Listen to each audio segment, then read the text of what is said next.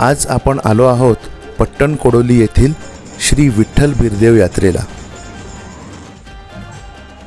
नमस्कार मी गौरव कुलकर्णी. तुमचे स्वागत आहे निवांत लाईफ या यूट्यूब चॅनलवर.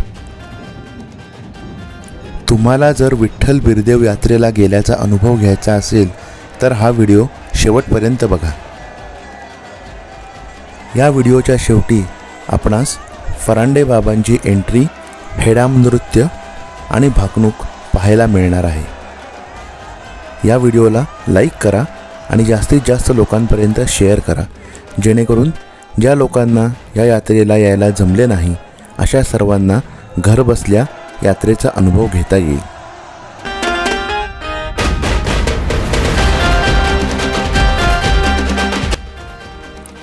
आज आहे एकवीस ऑक्टोबर. आपण आलो आहोत श्री विठ्ठल बिरदेवाच्या यात्रेला. जे की आहे पट्टण कोडोली गावामध्ये. पट्टण कोडोली गाव हे कोल्हापूर जिल्ह्यातील हातकणंगले तालुक्यात आहे. ही यात्रा महाराष्ट्रातील सर्वात मोठ्या यात्रांपैकी एक आहे.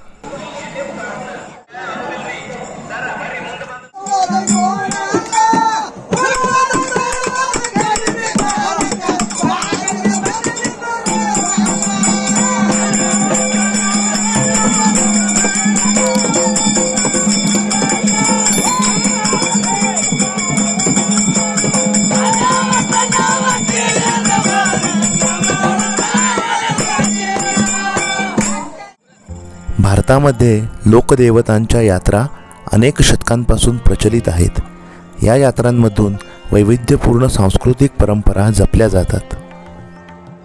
यात्रा म्हणजे केवळ धार्मिक कार्यक्रम नसून पारंपरिक संगीत नृत्य आणि पिढ्यानपिढ्या चालत आलेल्या रूढी परंपरांचा मेळावा देखील आहे. इथे आल्यावर आपल्याला खाद्यपदार्थांची आणि प्रसादाची रेलचेल पाहायला मिळते.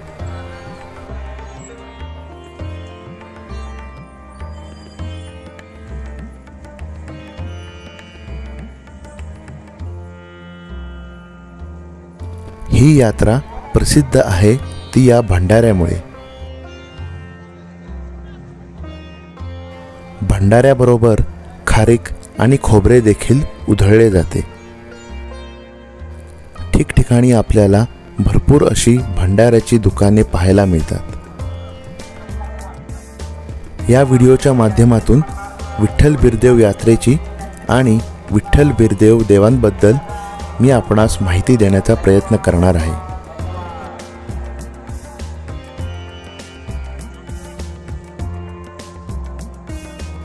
चला तर मग आता आपण जाऊया मंदिराच्या आतमध्ये.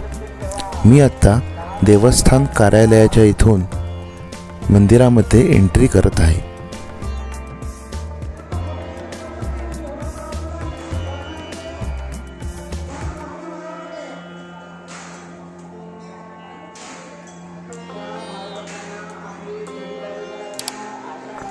मंदिराच्या आतमध्ये जाताच भंडाऱ्याची उधळण चालू असते.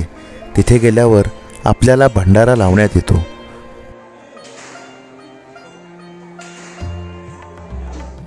मी सुद्धा माझ्या कापाळाला भंडारा लावून घेतला. चला तर मग आता भंडारा लावून झाला आहे.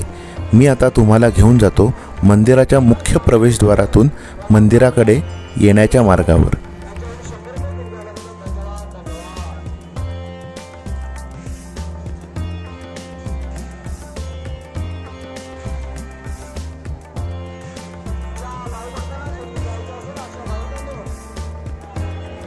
हे आहे मंदिराचे मुख्य प्रवेशद्वार.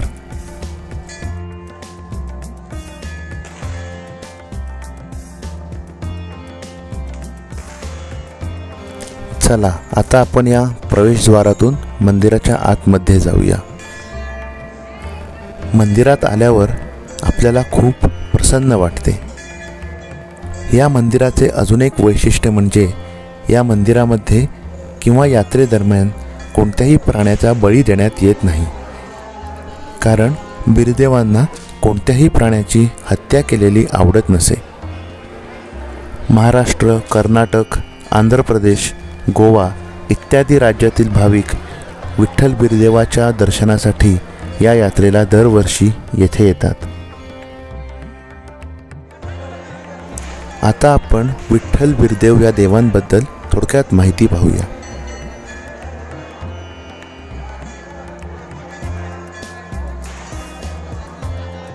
यात्रेत यावेळी अंगावर वारूचे वार केले जातात अर्थात चाबुकाचे फटके मारले जातात.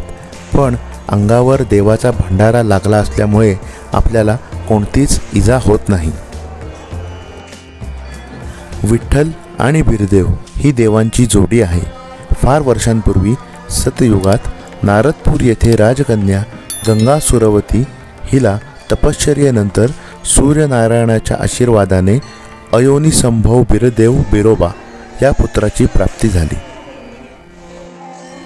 मात्र हा पुत्र आपल्या मातेजवळ राहू शकला नाही. नदीच्या शापामुळे त्या बाळाला वनात एका पाळण्यात घालून ठेवावे लागले. नदीने सुरवतीला शाप का दिला याची देखील एक कहाणी आहे. आपली कन्या विवाह न होता गर्भवती राहिली आहे. या कारणाने गंगा सुरवतीच्या पित्याने राजा ध्रुवाईत याने मुलीच्या जेवणात विष कालवले. गर्भात असलेल्या बीरदेवांनी मातेला विषापासून वाचवले.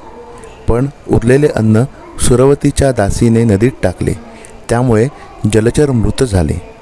माझी मुले तू मारलीस म्हणून तुझा मुलगा जन्माला आला की तुझ्यापासून दूर राहील असा नदीने शाप दिला. त्यामुळे बीरदेवाला अरण्यात पाळण्यात ठेवावे लागले. तेथे एकव्वा आणि तिच्या धाकट्या बहिणीने त्या बाळाला आपला भाऊ मानले व चिंचली येथे नेऊन त्याचा सांभाळ केला. अक्का म्हणजे बहीण ती आई झाली म्हणून एकव्वाला मायक्का असे नाव पडले. बिरदेवांचे विवाहानंतर संसारात मन रमेना. त्यांनी तपश्चर्या केली व विठ्ठलाला भावाच्या रूपात बोलावले. श्री विठ्ठल बिरदेवांचा भाऊ म्हणून सोबतीला आले. त्यांनी मुंडासे काठी व घोंगडी असा वेश केला. धनगरांना त्रास देणाऱ्या दैत्यांचा दोघांनी मिळून नाश केला. विठ्ठल म्हणजे विष्णूचे रूप तर बिरोबा हा शिवाचा अवतार. त्यानंतर हे दोघे जेथे जेथे गेले ते स्थान तीर्थक्षेत्र झाले. एनापूर येथून ते हुक्केरीला आले. तेथे त्यांना धनगरांनी मेंढीचे दूध दिले. देव म्हणाले तुम्ही आता दर साली आम्ही वसणार तिथे यायचे आणि मेंढीचे दूध आम्हाला द्यायचे. ही परंपरा चालू ठेवा. हेगडी भक्त म्हणून हे भक्त ओळखले जातात. ते दूध व्हायला येतात तेव्हा गावकरी त्यांच्यासाठी पुरणपोळीचे जेवण घालतात. विठ्ठल बिरदेव मेंढ्यांचे अदृश्य शक्तींपासून संरक्षण करतात. ते धनगरांना माळावर सोबत करतात. अशी धनगर समाजात श्रद्धा आहे. पुढे हुक्केरीवरून वडंगोल सदलगा दोनेवाडी रेंदाळ हुपरी तळंदगे वसगडे या वाटेवर मुक्काम करीत करीत देव पट्टण कोडोली येथे थांबले. येथे त्यांनी खडकाळ माळावर वस्ती केली. ज्योतिर्लिंग यात्रा बघून आपल्या भक्तांनीही असे सालाबादप्रमाणे भेटले पाहिजे. यासाठी यात्रेचे नियोजन करावे असे देवांना वाटले. पण देवांना ही यात्रा निभावेल असा भक्त भेटत नव्हता. भक्ताला शोधायला देव निघाले. सोलापूर जिल्ह्यातील माढा तालुक्यातील अंजनगाव येथे त्यांचा शोध संपला. माता नागव्वाचा मुलगा खेलोबा याला भक्त शिरोमणी म्हणून स्वतः देवांनी पट्टणकोडोली येथे यात्रेसाठी येण्याचे आमंत्रण दिले. त्यानुसार खेलोबा आपले पाच कुळातील शिष्यगण घेऊन अश्विन शुद्ध सप्तमीला चालत चालत निघाले. पट्टण कोडोली येथे माळावर आले. देवाने भक्ताची परीक्षा घ्यायचे ठरविले. ते मंदिरासह अदृश्य झाले. खेलोबा हाक मारू लागला. पण देव काही दिसेनात.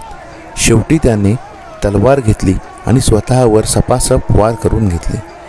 त्यावेळी इतरांनी त्यांच्यावर हळदीचा भंडारा उधळला. एवढे वार होऊनही त्यांना इजा झाली नाही. शेवटी देव प्रगटले आणि त्यांना पाहताच खेलोबांच्या मुखातून भावश्विनी निघाली. काय काय होऊ घातले आहे? कसे करावे? काय वागावे? तो भावावेशात बोलू लागला. देवांनी त्याला आशीर्वाद दिला आणि सांगितले की तुझ्या कुळातील सदस्य या यात्रेचा मानकरी असेल. तलवारीचे वार हेडाम नृत्य आणि भागणूक सांगेल.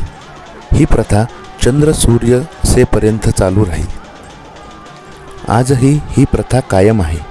खेलोबा व शिष्यांच्या परिवारातील भक्त येतात. तळंदगे वसकडे आणि पट्टणकोडोली या वेगवेगळ्या ठिकाणी त्यांचे स्वागत भोजन याची व्यवस्था केली जाते. खेलोबाच्या कुळातील एक जण मुख्य असतो ज्याला फरांदे बाबा म्हटले जाते. तो काचेचे पाणी चढवलेली तलवार अंगावर मारून घेतो. पाऊस पिके राजकीय नेते राजकारण समाजव्यवस्था यावर भाकणूक करतो.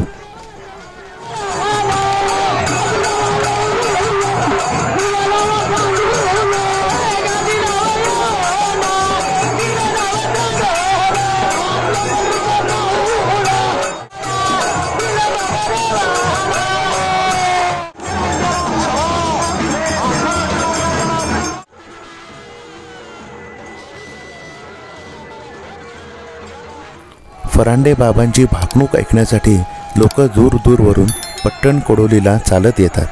आजही शेतकरी फरांडे बाबांच्या भाकणुकीनुसार आपले वार्षिक पीक कधी घ्यायचे कसे घ्यायचे या गोष्टी ठरवितो.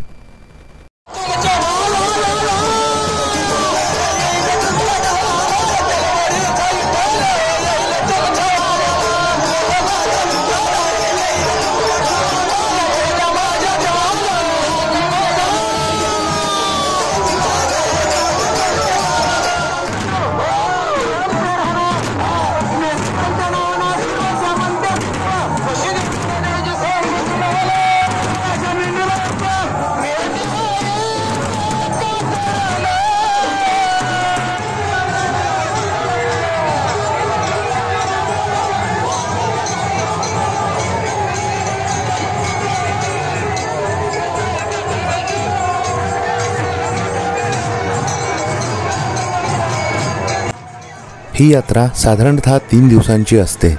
पण ही यात्रा चालू होण्याआधीच दहा दिवस फरांदे बाबा आपल्या गावातून पट्टण कोडोलीला येण्यासाठी चालत प्रस्थान करतात.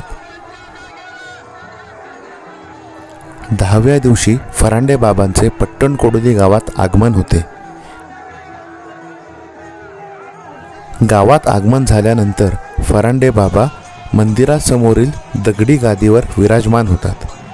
हीच आहे ती दगडी गादी. बाराव्या दिवशी ग्रामस्थांकडून फरांडे महाराजांना आणि भक्तांना आंबील प्रसादाचे वाटप केले जाते.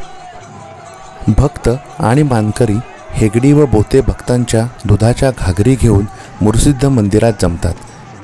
तेथून ढोलांच्या गजरात छत्री निशाणी नंदी इत्यादीसह भक्त पट्टण कोडोली येथे पायी चालत येतात. येथे आल्यावर विजापूर बादशहाचे मानाचे बाशिंग विठ्ठल बिरदेवाच्या चरणी अर्पण केले जाते. तेरावा दिवस असतो तो भाकणूक कार्यक्रमाचा. या दिवशी ग्रामपंचायत पट्टण कोडोलीमधून वाजत गाजत मानाच्या जोड तलवारी घेऊन पाटील चौगुले मगदूम कुलकर्णी जोशी गावडे समस्त पुजारी धनगर समाज ग्रामस्थ मानकरी मिळून फरांडे महाराजांची भेट घेतात. यानंतर ढोल ताशाच्या मिरवणुकीत या छत्र्या मंदिराकडे नेण्यात येतात. सर्व छत्र्या मंदिरात गेल्यानंतर भाकणुकीचा कार्यक्रम होतो. यावेळी भंडाऱ्याची मुक्त हस्ते उधळण करण्यात येते. यावर्षी या यात्रेत साधारणतः सहा लाख भाविकांनी एकूण पन्नास टन भंडारा उधळल्याचे सांगण्यात येते. बीरदेवाच्या नावानं चांग भलं च्या गजरात हजारो भक्तांनी उधळलेल्या भंडाऱ्यात लाखो भक्तगण नखशिकांत न्हावून निघतात. हा भंडारा म्हणजे नुसती हळद नसून यामध्ये हळदीबरोबरच औषधी वनस्पतींची पावडर आणि सुखे खोबरे व खारीक इत्यादींचा समावेश असतो.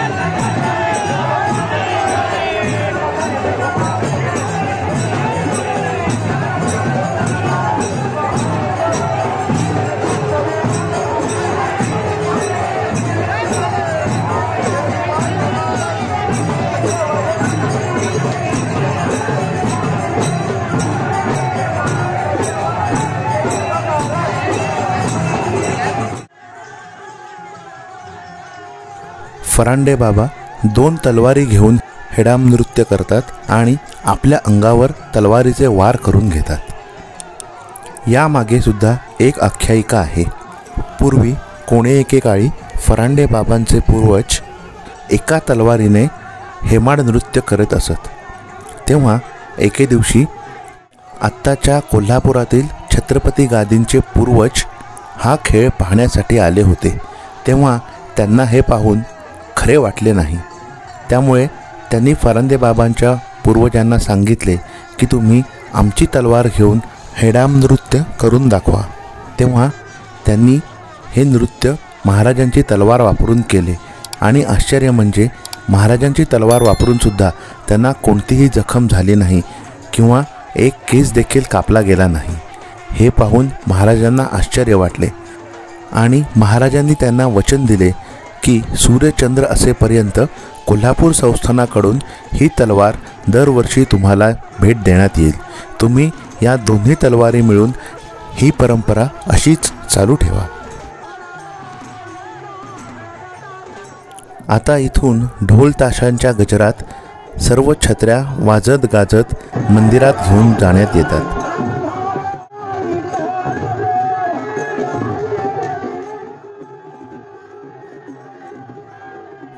हा व्हिडिओ आपणास आवडत असेल तर या व्हिडिओला लाईक करा आणि जास्तीत जास्त लोकांपर्यंत शेअर करा.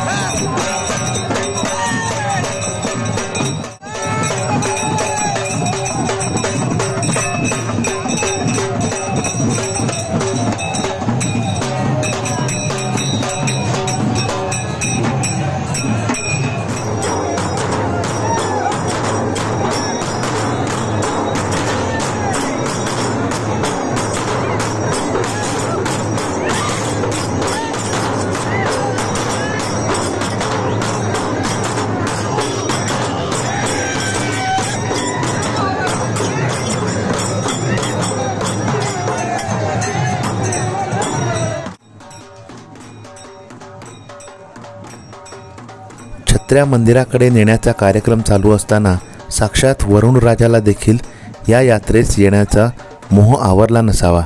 कारण अचानक यात्रा चालू असताना भरपूर पाऊस सुरू झाला.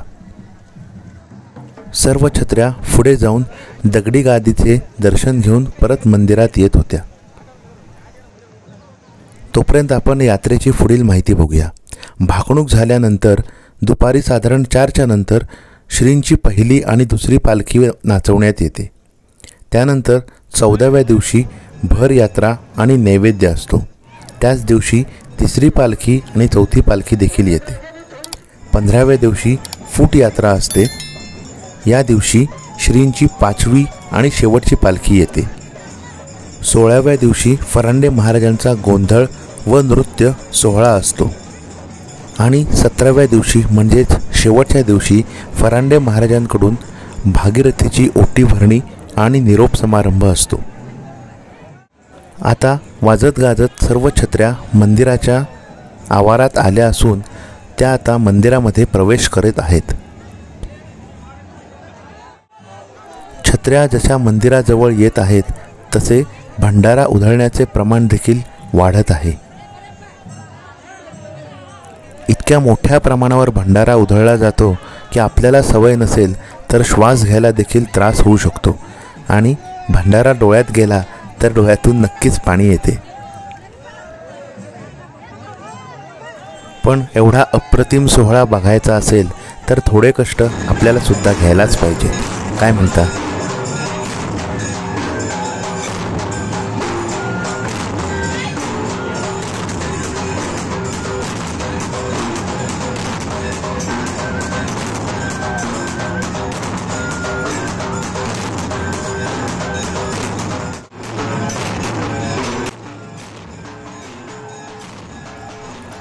ढोल तासाच्या गजरात सर्व छत्र्या मंदिरात एक एक करत आतमध्ये येत आहेत. तुम्ही ते बघू शकता सर्व छत्र्या परत मंदिरात देवासमोर नाचवण्यात येत आहेत.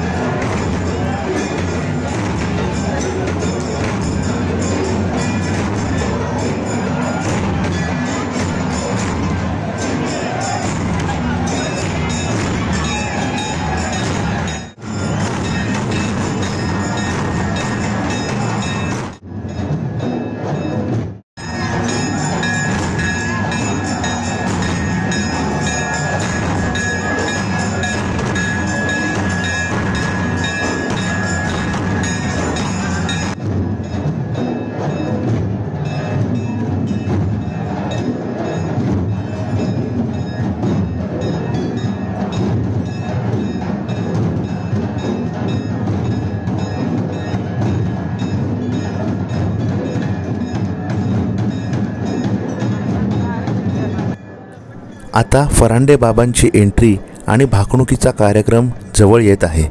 चला तर मग आपण पहिल्या मजल्यावर जाऊन तेथून हे अद्भुत दृश्य टिपण्याचा प्रयत्न करूया.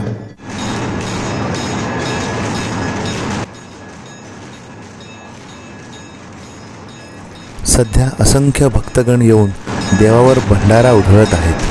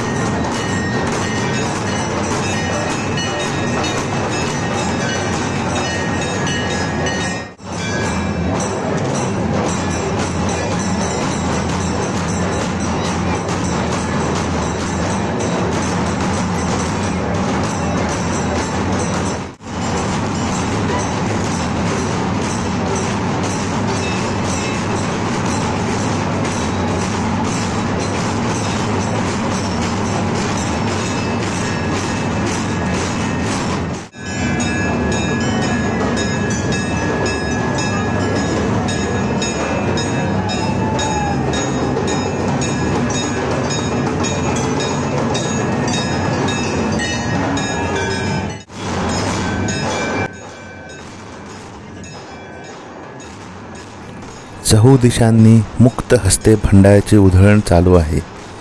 ही उधळण बघून डोळ्याचे पारणे अगदी फुटून जाते.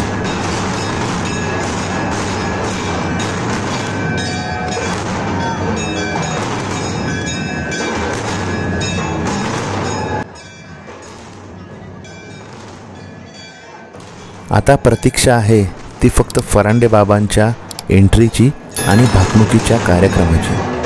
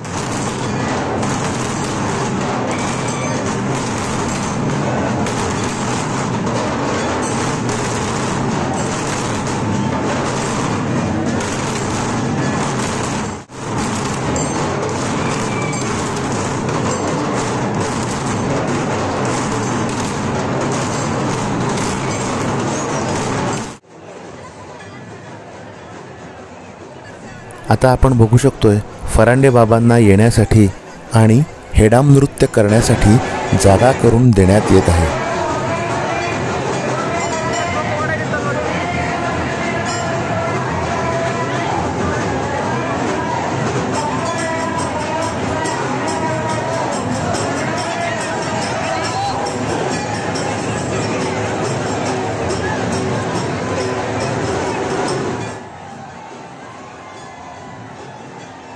या क्षणी मी माझ्या आयुष्यातील सर्वात मोठी भंडाऱ्याची उधळण बघत आहे. आपल्याला नुसत्या डोळ्यांनी समोरचे काहीच दिसत नाही आहे म्हणतात ना झिरो व्हिजिबिलिटी तसा प्रकार चालू आहे.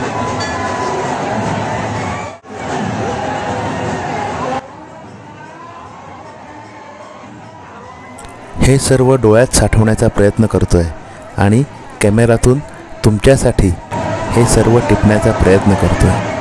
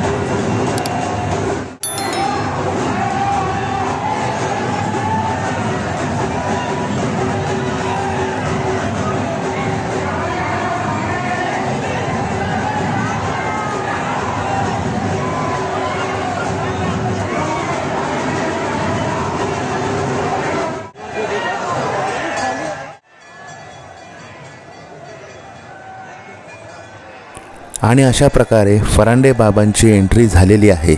तुम्ही बघू शकता. विठ्ठल बिरदेवाच्या नावानं चांग भलं.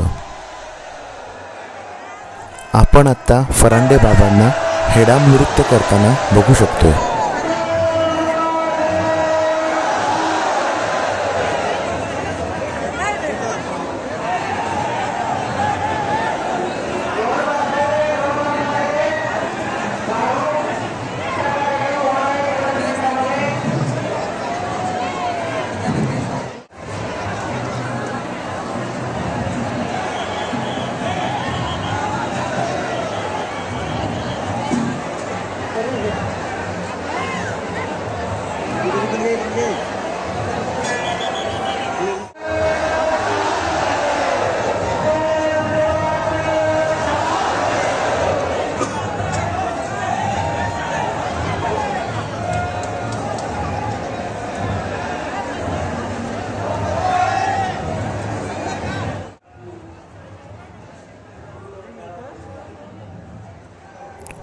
आता बाबांनी या वर्षीची भाकणूक सांगायला सुरुवात केली आहे. त्यांनी भाकणुकीमध्ये काय सांगितले ते मी आपणास वाचून दाखवतो. नऊ दिवसात पावसाचे कावड फिरेल पाऊस काळ चांगला राहील. धारण चढती राहील महागाई वाढेल. राजकारणात उलथापालथ होऊन भगवा फडकेल. भारताची समान नागरी कायद्याच्या दिशेने वाटचाल होईल. रोहिणीचा पाऊस मृगाचा पेरा. भारताची महासत्तेकडे वाटचाल होईल. बहीण भावाच्या नात्यातील सलोखा कमी होईल. देवाची सेवा करील त्याची रोगराई दूर होईल. मी स्वतः मेढंका होऊन हातात वेताची काठी घेऊन सेवा करणाऱ्या भक्ताचे सदैव रक्षण करीन. बोला विठ्ठल बिरदेवाच्या नावानं चांग भलं. फरांदे बाबांच्या नावानं चांग भलं.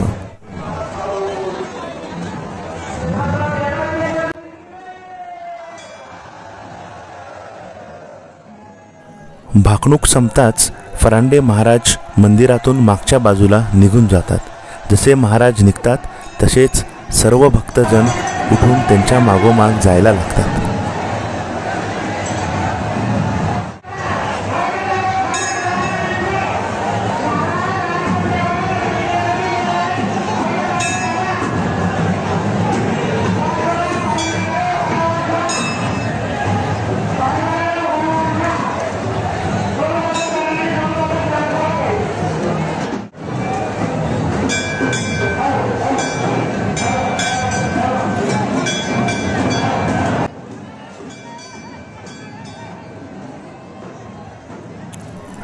भाग्य थोर की आज या दिवशी आपल्याला भाकणुकीचा कार्यक्रम पाहायला मिळाला.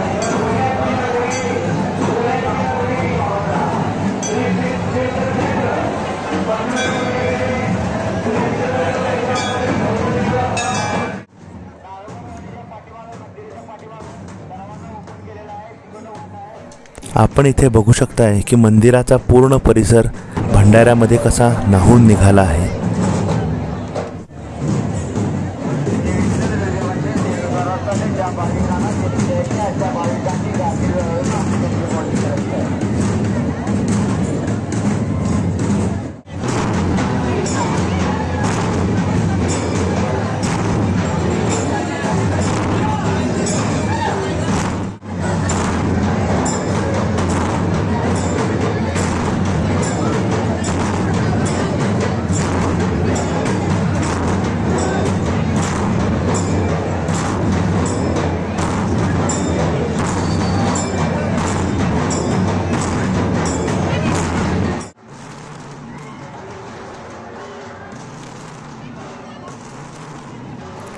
देवासमोर ढोल ताशाचे वादन सुरू आहे.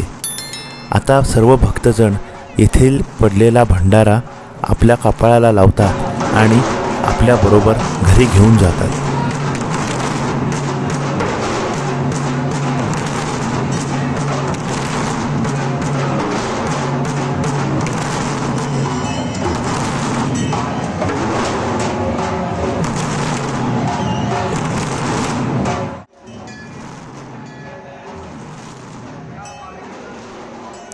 अजून एक महत्त्वाचे म्हणजे येथे भंडाऱ्याबरोबर लोकर देखील उधळली जाते.